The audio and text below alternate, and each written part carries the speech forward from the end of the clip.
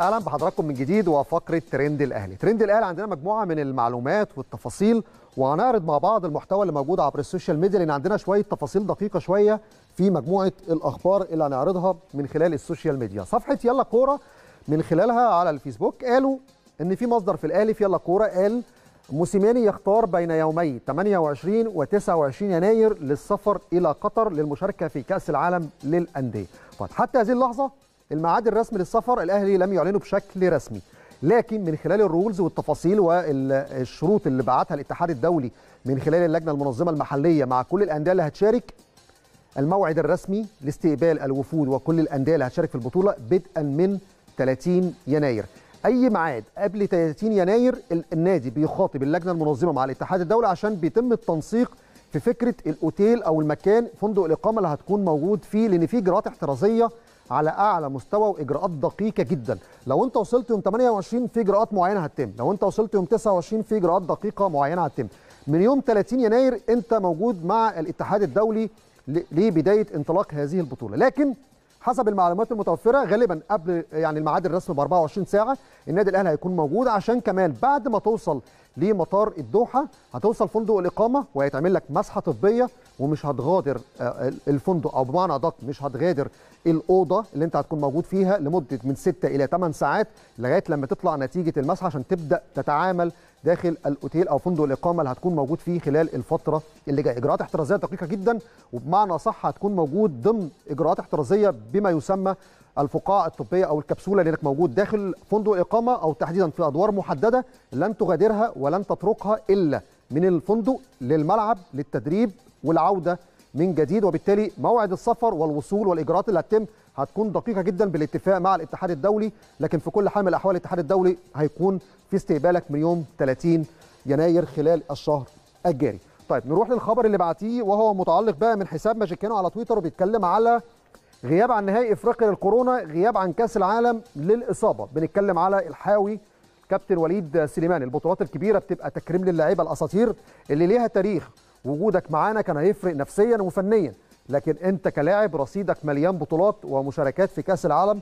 قدر الله ما شاء فعل. وما تعرفش الخير فين. ألف سلامة عليك يا حاوي. ده كلام مهم جدا من صفحة ماجيكانو اللي بالتأكيد بتحب تغلف اسم الصفحة ب Champions of Africa طبعا بطل إفريقيا هو النادي الأهلي.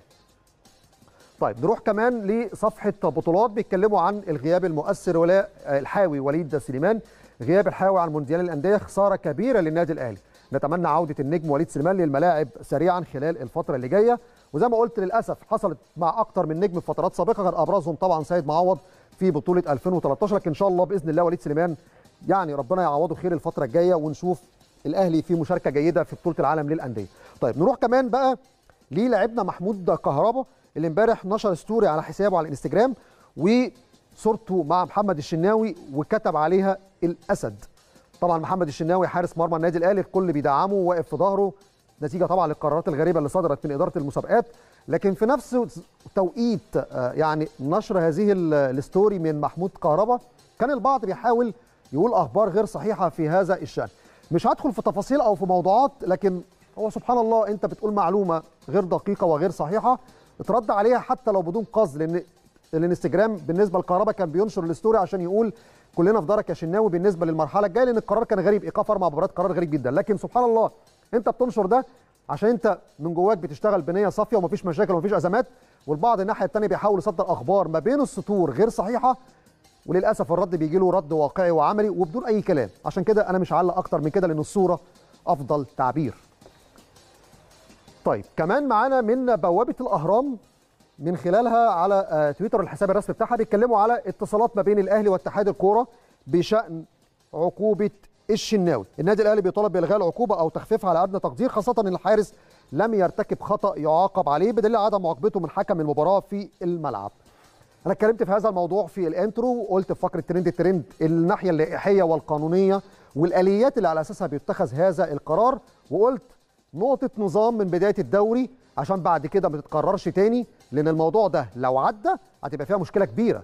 الموضوع ده لو عدى هتبقى فيها مشكلة كبيرة. وآلية العمل ما بين لجنة الحكام ولجنة المسابقات لازم يكون في إطار واضح في طريقة العمل. والحكام اللي بينزلوا في المباريات لازم يشتغلوا طبقا للوائح لأن الحكم ايا كان حكم كرة شاطئية حكم كرة صالات حكم دوري هو ممكن يدير مباراة في الدوري. بالمناسبة عشان البعض بيقول حكم صالات ما ينفعش يدير الدوري. لا يدير. وحكم شاطئية يدير. هو ما بيديرش مباراة دولية. يدير مفيش مشاكل. حصل قبل كده كان شريف رشوان ومحمد عبد القادر مرسي ما كانوش حكام كرة قدم دوليين كانوا شاطئية وصالات وكانوا بيديروا. لكن الحكم اللي بيشتغل في المباريات الكبيرة زي دي لازم يكون عارف اللوائح كويس جدا ولازم يشتغل بشكل قانوني ولائحي طيب كلام مهم جدا في هذا الأمر.